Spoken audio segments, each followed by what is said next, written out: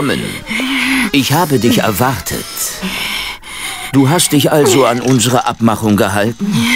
Ehrlich gesagt, ich bin beeindruckt. Ziemlich. Auch einen? Nein? Ah, du weißt nicht, was du verpasst. Erstklassige Qualität.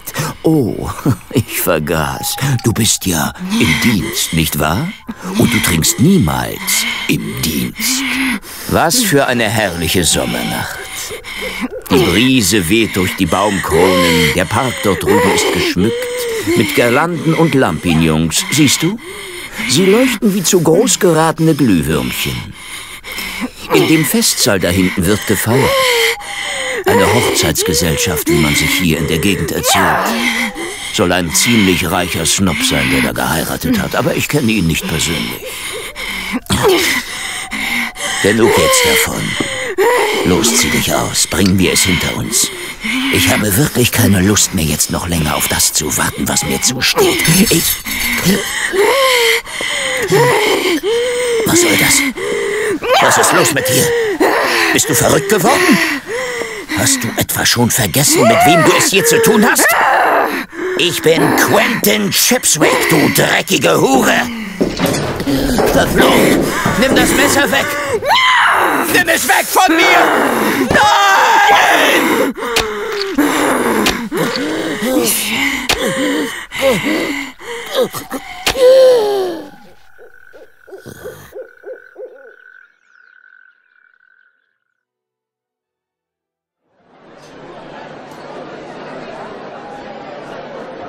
Darling, da bist du ja. Wir haben dich schon vermisst. Wo bist du denn gewesen?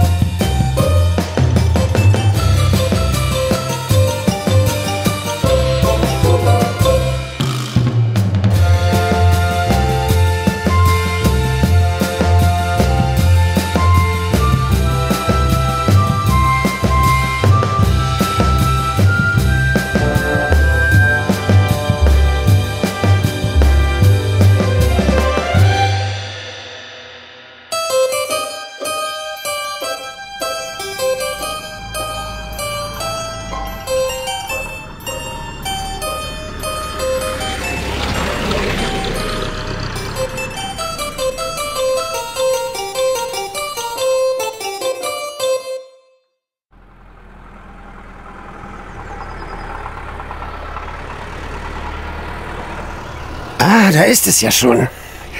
Wie in alten Zeiten. Hier scheint sich tatsächlich nichts verändert zu haben. Oh, die Blumen, die hätte ich auch beinahe im Wagen liegen lassen.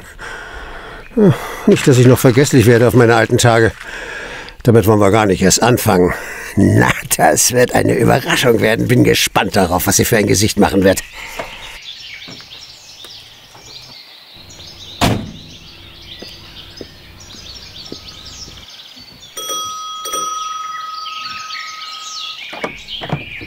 Ja, bitte. Kann ich Ihnen in irgendeiner Form behilflich sein? Miss Rutherford, In Natura. dann darf ich Ihnen diesen Blumenstrauß hier überreichen. Die Blumen kommen von einem alten Freund. Dieser riesige Blumenstrauß für mich? Ein alter Freund, sagen Sie. Aber wer sollte denn... Sein Name ist... Tada! Ach, Milo. Nein, aber das gibt's ja gar nicht. Bist du das wirklich? Aber ja, Milo Chisholm vom Scheitel bis zur Sohle. Hinter diesem prachtvollen Blumenstrauß habe ich dein Gesicht gar nicht erkennen können. Genau das war ja meine perfide und teuflische Absicht. Was ist jetzt? Darf ich reinkommen? Wie jetzt? Du kreuzt hier einfach bei mir auf nach all den Jahren? überbringst mir diese umwerfend schönen Blumen wie ein heißblütiger Romeo seiner Julia und erwartest, dass eine ehrbare Frau wie ich dich nun zur Belohnung dafür auch noch in ihr Haus bittet? Ja, genau, das erwarte ich richtig. Auch wenn ich weiß, dass es so etwas wie ehrbare Frauen natürlich nicht gibt im richtigen Leben. Milo, du alter schwere Nöter, komm her, lass dich drücken. Mimi, ach, es tut so gut, dich wiederzusehen nach all der Zeit. Komm rein. Ich habe gerade einen Tee aufgesetzt. Wenn du magst. Wir setzen uns gemütlich ins Wohnzimmer und plaudern bei einer heißen Tasse Tee über die alten Zeiten. Was hältst du davon? Das ist ein ganz vorzüglicher Plan, Miss Rutherford. Ich gratuliere Ihnen dazu. Er hätte von mir stammen können. Hier entlang. Vorsicht, da ist eine Stufe. Nicht, dass du dich verletzt. Hey, was ist das denn? Ich wusste gar nicht, dass du ein Faible für Cricket hast. Ach, das alte Ding. Das steht schon so viele Jahre ungenutzt in der Ecke herum. Gut in der Hand. Ordentlich ausbalanciert. Respekt. Vorsicht! Demolier mir mit dem Schläger nicht die Einrichtung, du Sportskanone. Wir sind hier nicht auf dem Cricket Ground. Noch immer ganz die Alte. Wusstest du, dass ich auf dem College einer der erfolgreichsten Schlagmänner war? Ach, vielleicht hätte ich mich damals besser gegen diesen langweiligen Bürojob entscheiden und stattdessen eine Karriere als Sportler anstreben sollen. Wenn du magst, schenke ich dir den Schläger. Das würdest du wirklich tun?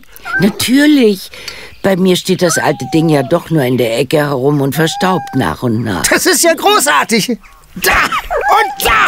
Ha, wie in alten Zeiten. Milo Chisholm.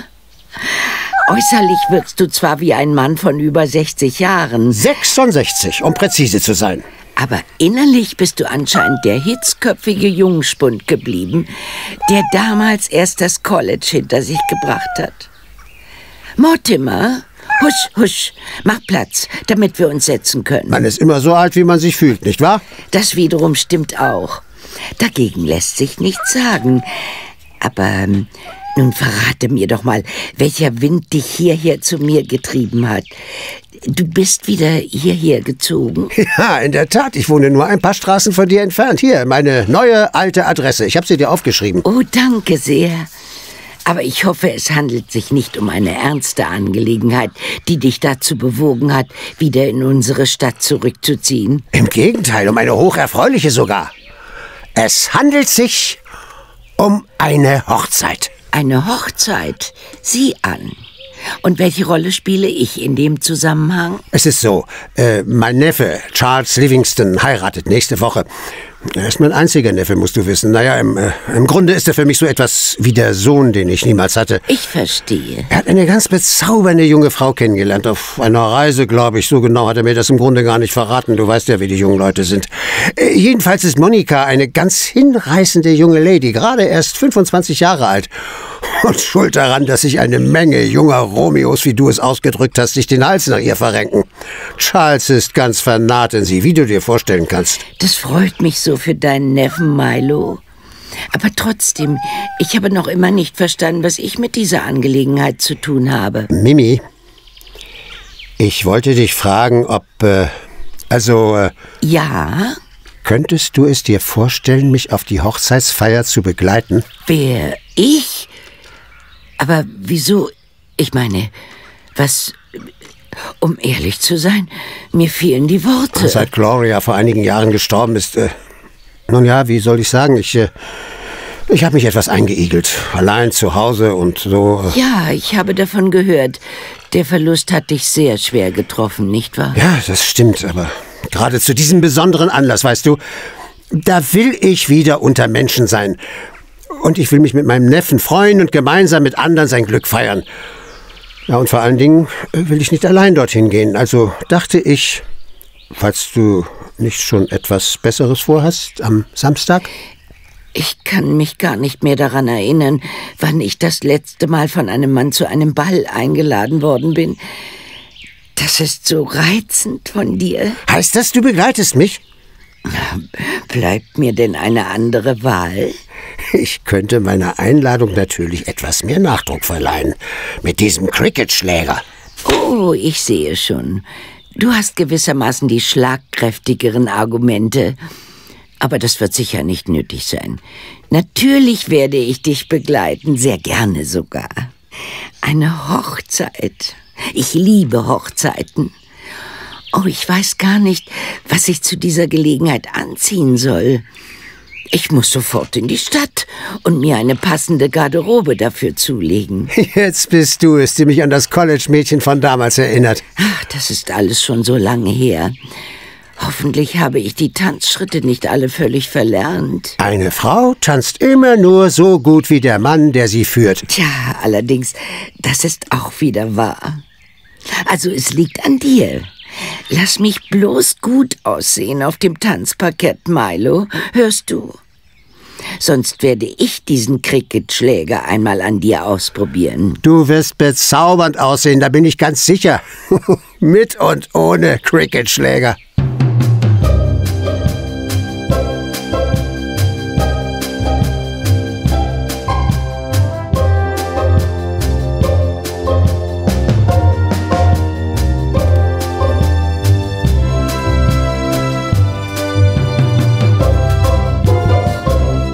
Guten Morgen, Sir. Entschuldigung, Verzeihung, lassen Sie mich bitte durch. Inspector Lance Abernethy, Scotland Yard. Hier. Mein Ausweis. Sehr wohl, Sir.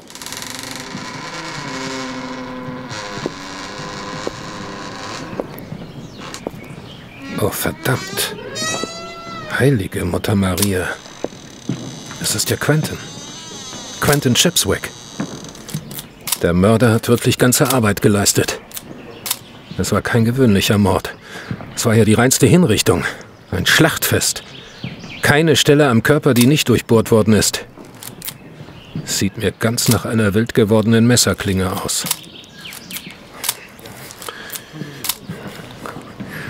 Und das da? Genau wie bei den anderen. The Demonic. Zwei Worte. Mit dem Blut des Opfers an die Wand geschrieben. Was mag das wohl zu bedeuten haben? The Demonic. Hm. Weitermachen.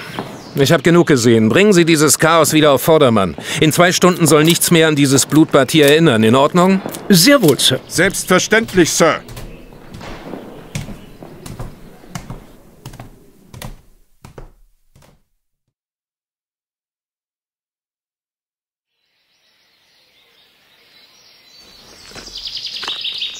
Der Dämonik. Ich werde dein Rätsel auflösen. Und wenn es das Letzte ist, was ich tue.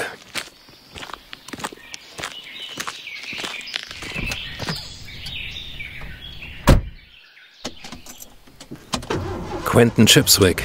Schon das vierte Opfer. Und zum vierten Mal diese merkwürdige, mit Blut geschriebene Nachricht. Verflext und zugenäht. Ich kriege dich, Dämonik. Wer du auch bist. Wo auch immer du bist. Ich werde dir dein grausames Handwerk legen.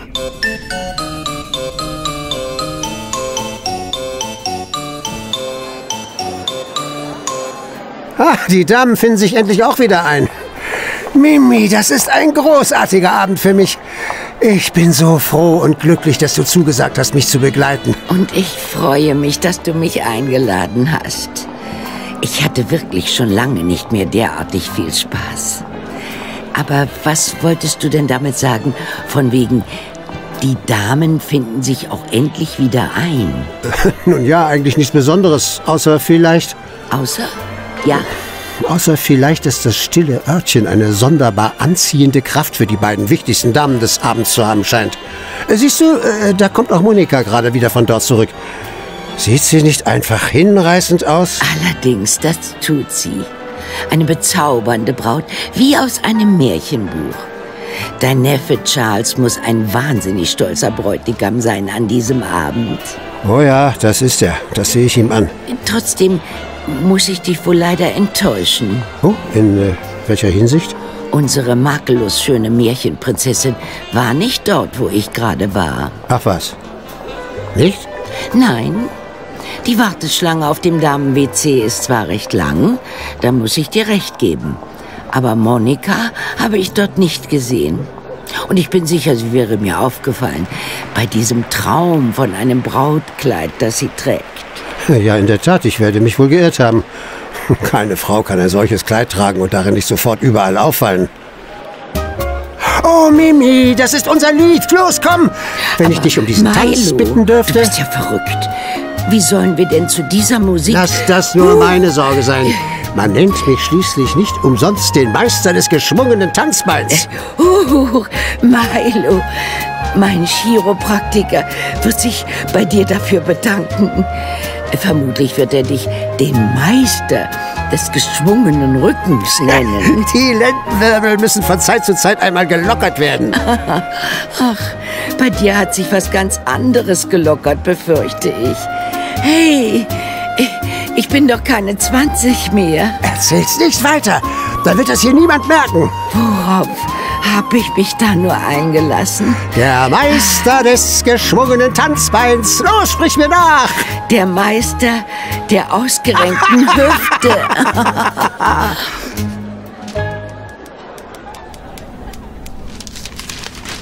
Creeping Death holt sich sein viertes Opfer. Scotland Yard machtlos. Der schleichende Tod, dass ich nicht lache. Anscheinend wollen sie einen neuen Jack the Ripper aus diesem Kerl machen. Und hier? Was steht da?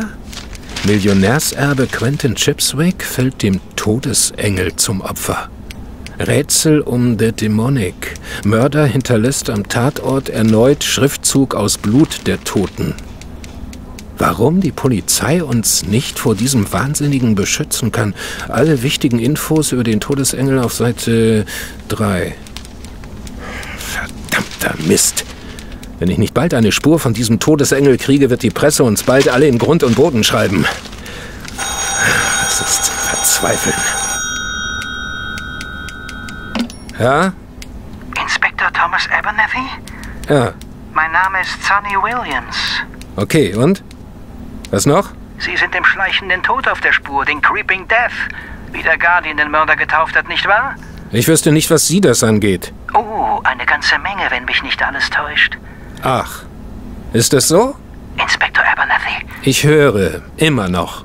Inspektor, wir müssen miteinander reden. Ich habe mir bis gerade eben beinahe eingebildet, dass wir genau das tun, gerade jetzt in diesem Moment. Nein, nicht so. Nicht am Telefon. Über diese Dinge spricht man nicht am Telefon. Diese Dinge? Gibt es eine Gelegenheit, dass wir uns treffen können? Unter vier Augen? Sie könnten ins Yard Building kommen. Ich besitze hier ein recht ansehnliches Büro. Auf gar keinen Fall.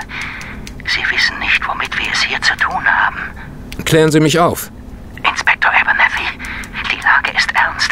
Wenn wir uns nicht treffen können, um miteinander über den Todesengel zu reden, wird es bald zu spät sein. Zu spät? Wofür? Wovon reden Sie denn da, Mann? Vom Todesengel. Ja, schon. Und? Weiter. Er besitzt eine Liste. Eine Liste mit verschiedenen Namen. Ah. Das ist mir neu. Inspektor, der nächste Name auf seiner Liste Ja? ist mein Name.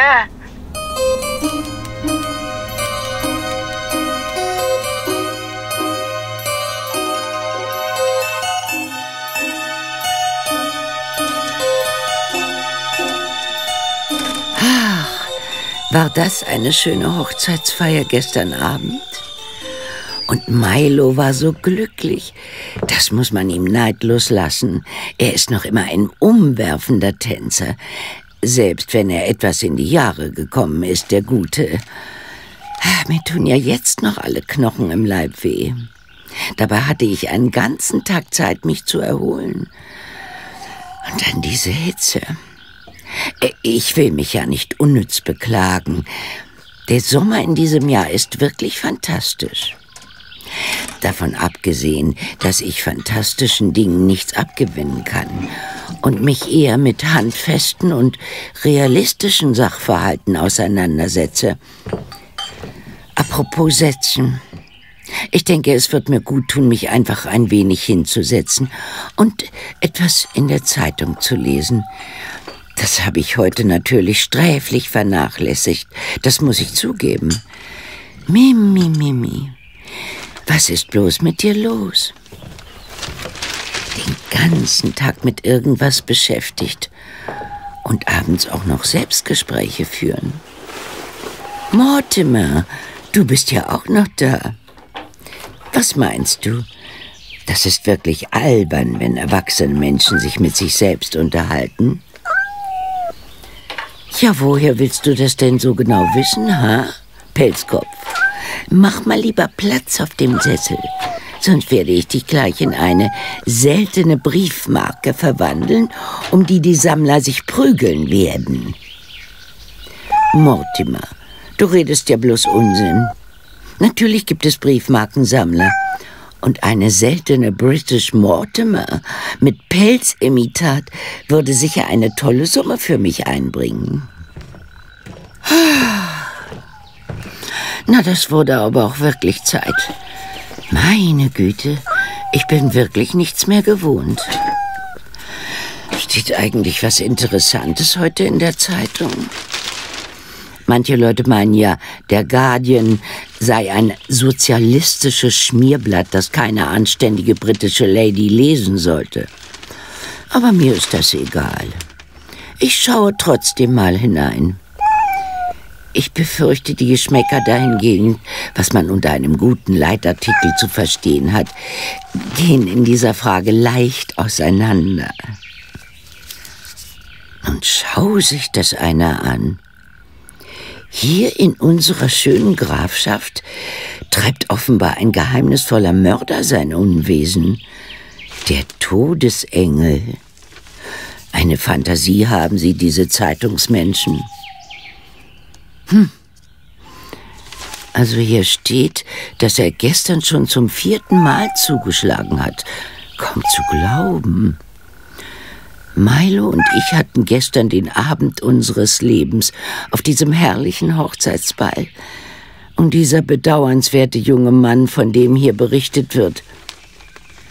Wer war das denn überhaupt? Ah, hier steht ja der Name. Quentin Chipswick. Nie gehört diesen Namen. Na, jedenfalls steht hier, dass Mr. Chipswick die bedauerliche Ehre zuteil geworden ist, das vierte Opfer dieses Todesengels zu werden. Creeping Death nennen sie den Todesengel auch. Den schleichenden Tod. Das klingt ja schauderhaft. Fand sich auch diesmal wieder eine Schrift am Tatort, die mit dem Blut des Opfers an die Wand geschrieben worden ist. Erneut hinterließ der unbekannte Täter die beiden Worte The Demonic. Ein bislang nicht näher ausgewerteter, doch immerhin ein erster kleiner Hinweis, der in jedem Fall mit der dämonischen Wut übereinzustimmen scheint, mit der der oder die Täter ihr grausiges Handwerk angegangen sind. Was soll man denn davon halten? Einem solchen Unmenschen muss dringend das Handwerk gelegt werden. Ach, ich bin auch nicht mehr die Jüngste. Das wäre eine Sache für einen Mann. Ja, das ist natürlich eine gute Idee. Ich werde sofort Milo anrufen. Hoffentlich ist er noch wach zu so später Stunde. 799 2 724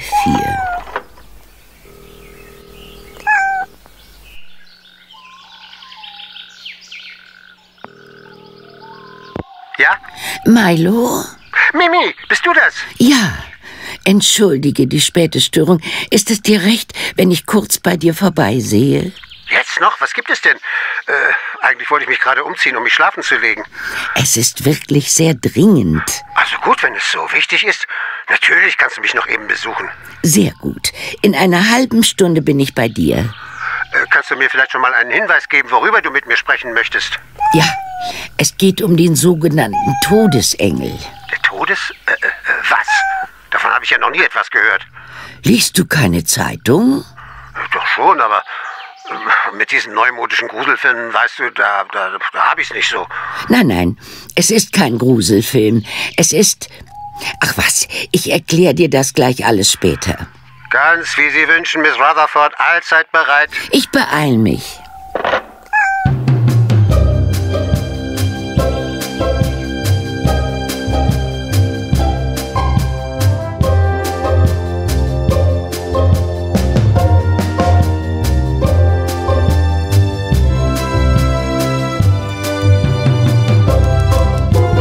Was sagen Sie da?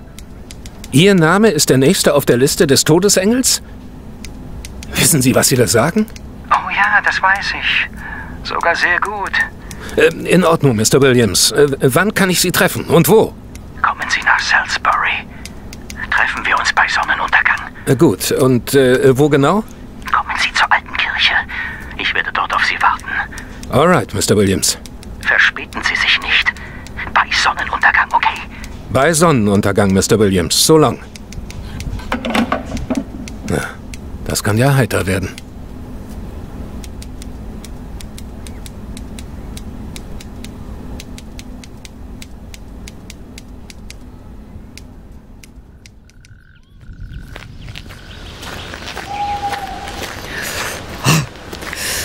Es hat sich merklich abgekühlt.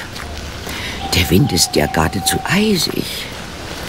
Vielleicht war es doch keine besonders gute Idee, jetzt noch zu Milo zu laufen.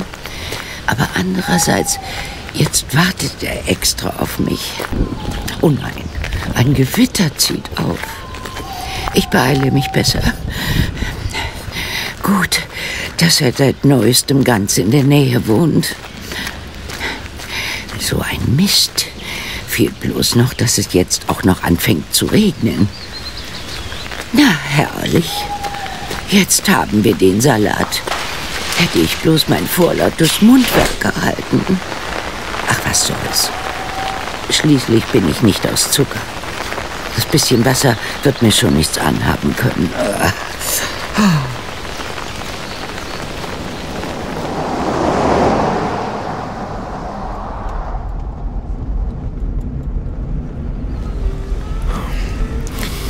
Salisbury, nur noch vier Meilen.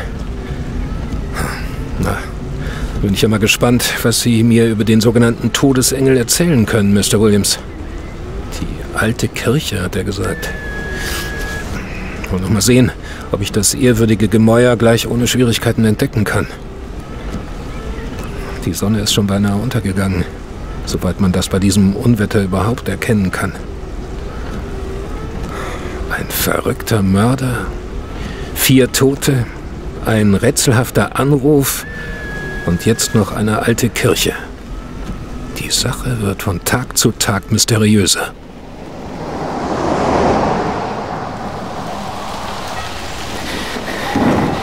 Wo bleibt er nur? Hätte ich das bloß geahnt bei diesem Sauwetter, dann hätte ich einen anderen Treffpunkt mit ihm ausgemacht. Ach, verdammt! Jetzt hilft auch kein Zetern und kein Klagen mehr. Hoffentlich findet er den Weg ohne Umschweife und... Was zur Hölle war das? Hallo? Hallo? Inspektor Abernathy? Sehen Sie das? So ein Mist, verfluchter! Ich kann ja meine eigene Hand nicht mehr vor Augen erkennen, so duster ist es geworden. Inspektor? Inspektor Abernathy? Sind Sie da? Ich bin Sonny Williams. Ich weiß, wer du bist, Sonny. Wer ist da? Wer sind Sie? Was wollen Sie von mir? Aber du scheinst nicht zu wissen, wer ich bin, oder? Das ist nicht wahr. Das glaube ich einfach nicht. Meine Existenz hängt nicht vom Glauben anderer Menschen ab. Der Todesengel.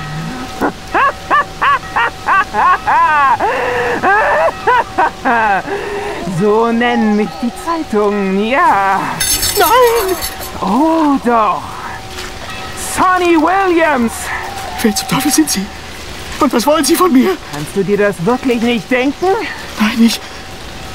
Was habe ich hier denn getan? Du weißt ganz genau, was du mir angetan hast.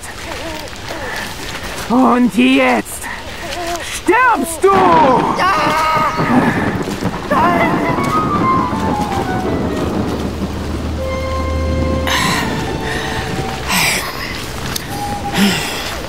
So ein Mistwetter aber auch.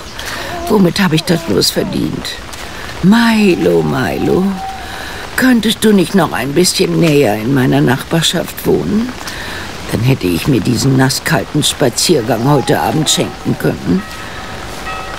Ah, die Glocken der alten Kirche. Na, das bringt mich doch auf eine Idee. Wenn ich über den Kirchhof laufe, ist das eine veritable Abkürzung. Davon, dass mich das Schwingen der Glocken auf diese Idee gebracht hat, während ich mich so beeilt habe, über das schlüpfrige Kopfsteinpflaster zu laufen, erwähne ich Milo gegenüber besser nicht.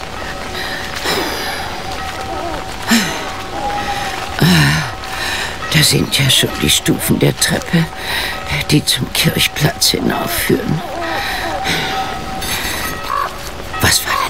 Ein seltsames Geräusch? Ich glaube, das kam aus dieser Richtung da. Du liebe Güte. Was ist denn los? Nein!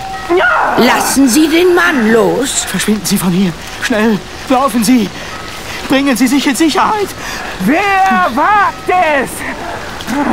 Haben Sie eigentlich den Verstand verloren, sich bei diesem Mistwetter derart gekleidet hier hinaus zu begeben? Ein Opfer ist so gut wie das andere.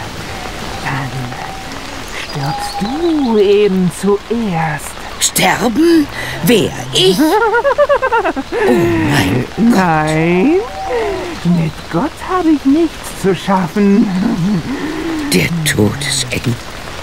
So ist es. C'est Dämonik.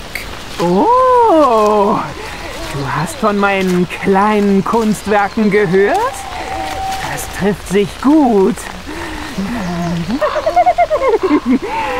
Denn du wirst mein nächstes Kunstwerk in Blut.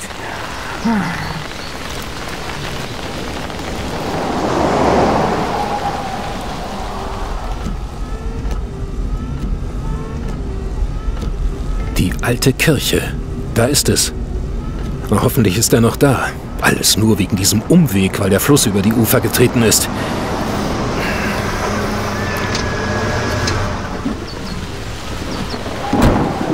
Verdammt! Eiskalte Dusche am Abend. Genau das, was ich eigentlich vermeiden wollte.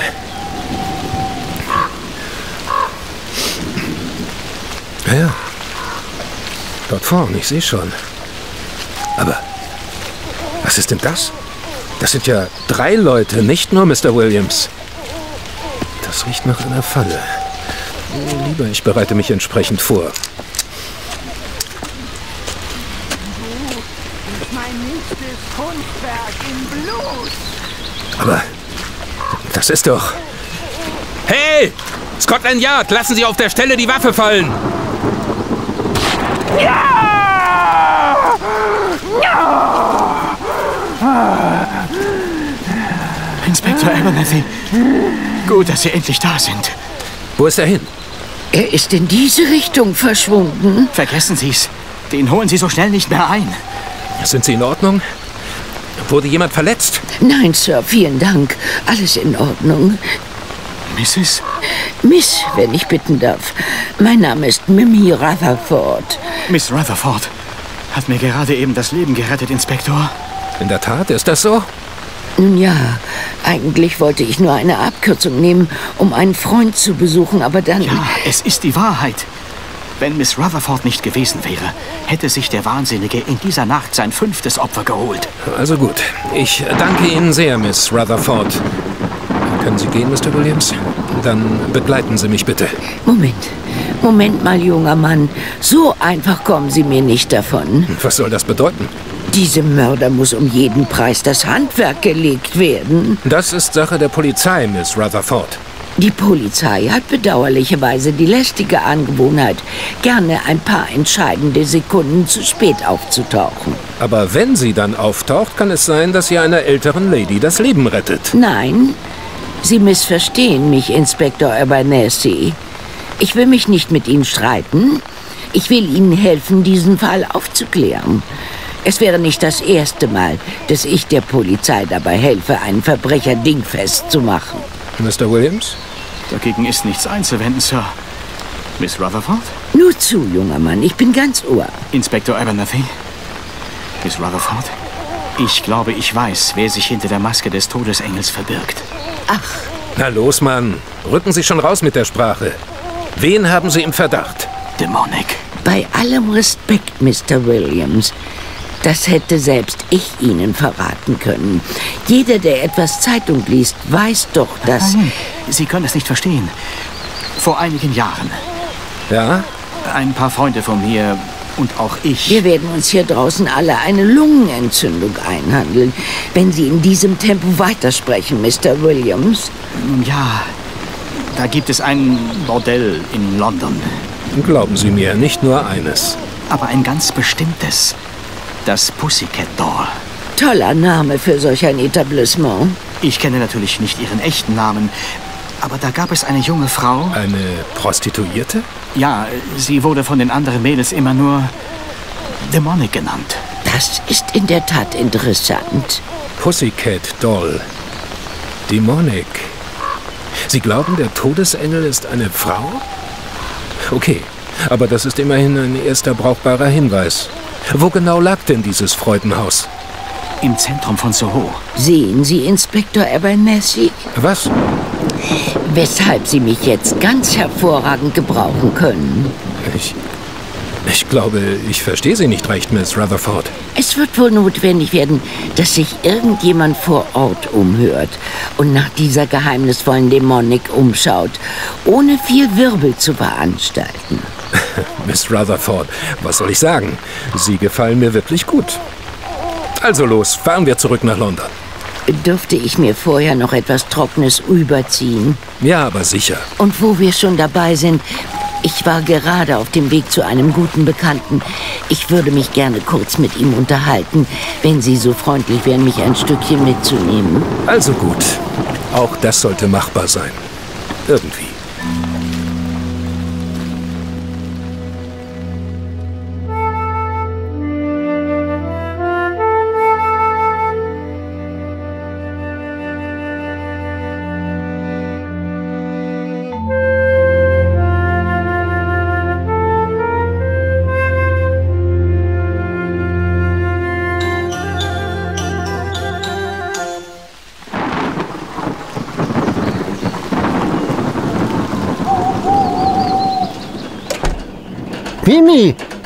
Ja, was ist denn mit dir passiert? Du bist ja völlig durchnässt.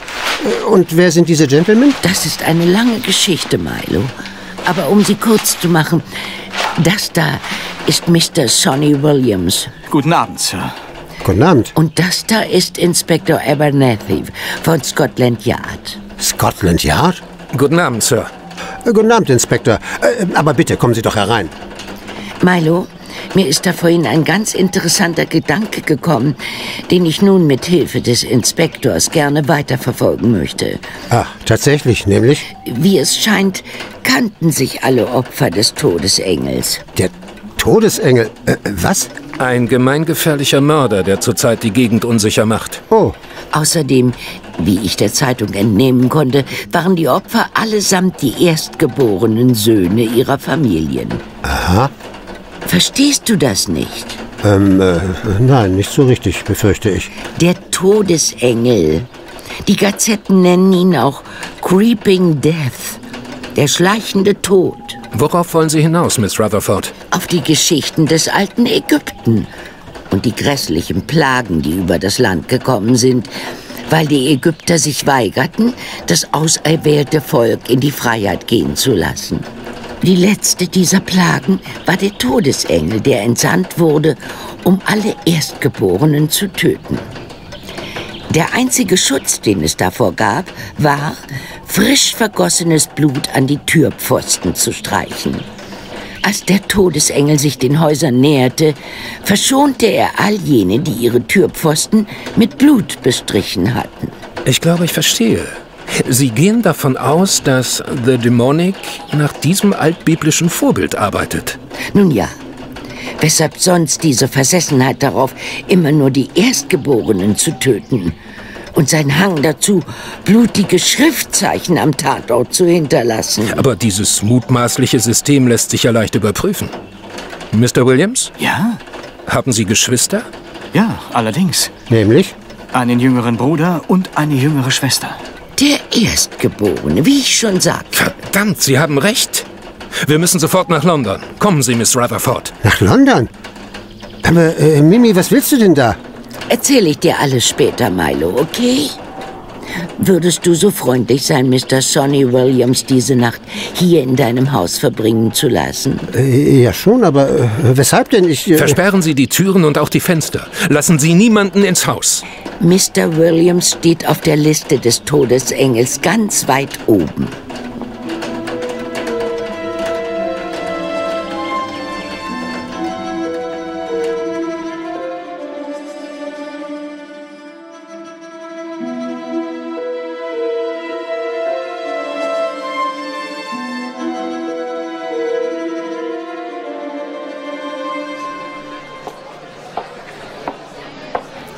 Sie wollten mich sprechen, Ma'am? Ja, ähm, mein Name ist Mimi Rutherford. Wo brennt's denn? Miss, äh... Ach so, Grace Stanton ist mein Name. Aber die nennen mich hier alle bloß Grace. Grace, sehr wohl. Also, was mich interessiert, ist Folgendes. Vor einigen Jahren hatten Sie hier eine ähm, Kollegin, die den etwas ausgefallenen Namen Dämonik trug. Ist das richtig? Sind Sie von der Presse oder was? Nein, ich.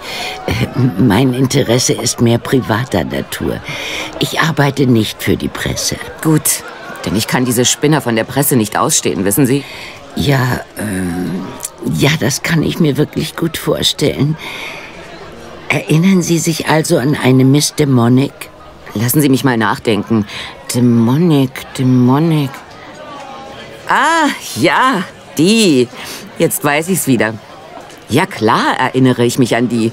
Das war vielleicht eine abgedrehte Kuh, kann ich Ihnen sagen. Mich interessiert viel eher, wie sie zu diesem außergewöhnlichen Namen gekommen ist. War sie so dämonisch? Nein, die war total bescheuert, wenn Sie mich fragen, Ma'am. Inwiefern? Weil sie sich immer nur Monique genannt hat. Die hatte so einen französischen Fimmel, wissen Sie. Eigentlich hieß sie schlichtweg Durban. Monika Durban, seit sie diesen Kriminellen geheiratet hat. Carrie Durban hieß der, glaube ich, soweit ich mich erinnern kann. Monika Durban. So, so. Ja, aber das durfte nie einer so aussprechen. Dann wäre sie ausgerastet, die durchgeknallte Ziege. Ich sag's Ihnen, die hat darauf bestanden, dass niemand ihren Nachnamen ausspricht. Und dass alle immer und ständig nur Monique zu ihr sagten.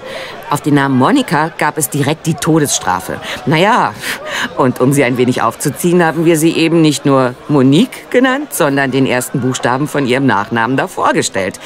D. Monique. Und so ist dann im Laufe der Zeit daraus der Name Demonic entstanden. Ah, sehr interessant. Und diese Mrs. Durban, sie arbeitet hier nicht mehr? Zum Glück nicht. Die vergrault einem doch bloß die Freier mit ihrer arroganten und selbstverliebten Art. Gott sei Dank, dass die von hier weg ist. Ich vermisse sie nicht. Das können Sie mir ruhig glauben. Aber Sie haben wohl keine Ahnung, in welche Richtung sie gezogen ist. Keine Ahnung, Ma'am, ehrlich. Die einen sagen, sie ist nach Wiltshire gezogen, Richtung Salisbury, wissen Sie? Und was sagen die anderen? Dass sie direkt zur Hölle gefahren ist, weil sie den jüngsten Sohn des Satans geheiratet hat. Und wer soll das sein? Habe ich Ihnen doch gerade schon gesagt. Carrie Durban. Ein Ekel, wie es im Buche steht. Ich sag's Ihnen, die hübsche Monika hat sich schon damals als Heiratsschwindlerin versucht. Sie hat immer reiche Männer geheiratet. Immer unter falschem Namen natürlich. Und dann haben sie und Durban die Ahnungslosen abgezogen. Seien Sie bloß froh, dass Sie mit solchen Leuten nicht zu schaffen haben. Okay? Okay, Miss Denton. Grace, Ma'am. Für Sie, Grace. Vielen Dank, Grace. Sie haben mir wirklich sehr weitergeholfen. Und seien Sie sicher, ich bin froh, nichts mit diesen Leuten zu tun zu haben.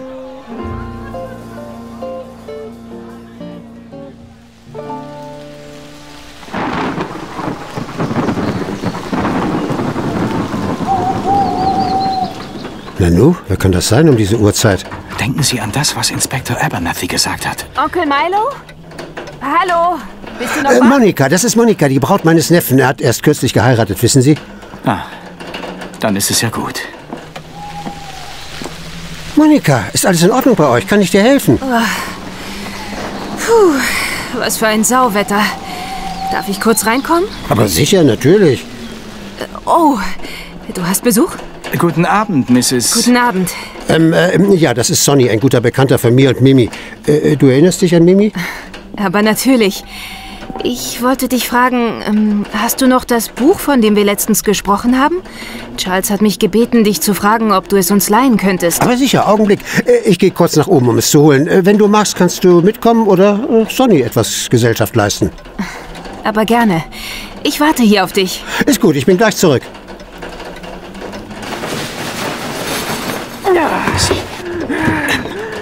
Sie sind... Dein Todesengel. Ja, das bin ich. Sonny Williams.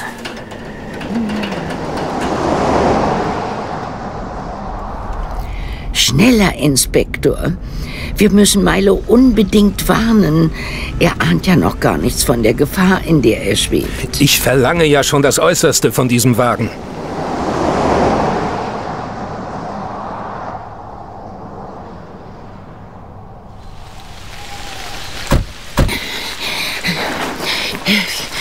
Die Tür. Oh mein Gott, sie offen. Das gefällt mir aber gar nicht gut. Milo? Sonny? Seid ihr da? Mr. Chisholm! Sonny?